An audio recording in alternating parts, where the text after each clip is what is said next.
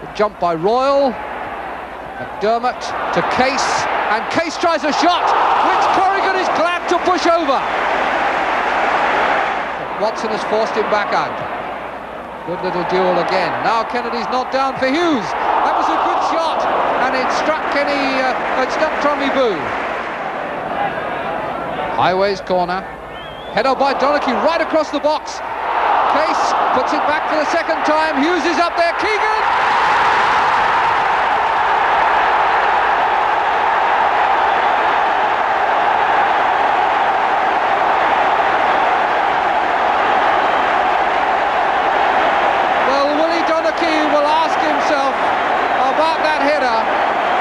peculiar glancing back header right across the face of the goal.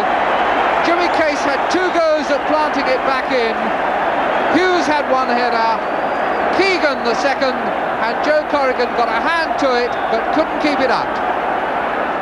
To Donachie. Hartford. Ged Keegan took a swing at it and has got a corner. Which Peter Barnes is taking towards Doyle's head, but Smith met it. Ged Keegan. It's Smith well. Opens the angle nicely for Barnes. Barnes' cross is a good-looking one too, and Booth was there. Now Hartford, and off the line and in. I think that was off Hughes, but they're going to acclaim Kidd, are they?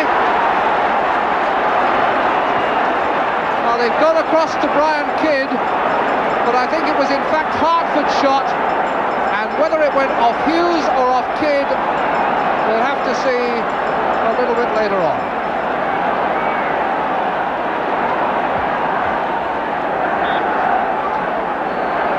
So that's 1-1, and we've got about uh, 13 minutes to go. McDermott.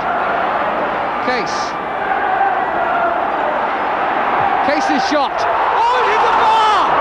Heighway!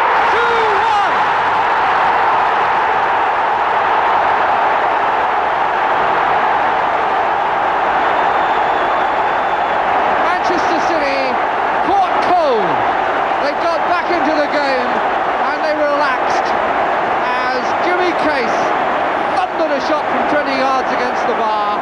Corrigan beaten, and the rebound put away lethally by Steve Heighway.